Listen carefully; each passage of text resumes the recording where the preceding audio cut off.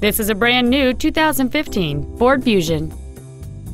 It features a 2.0 liter four cylinder engine and an automatic transmission.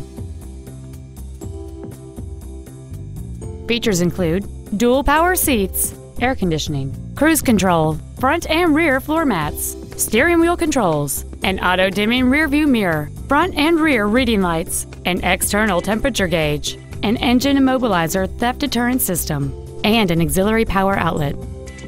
Stop by today and test drive this vehicle for yourself.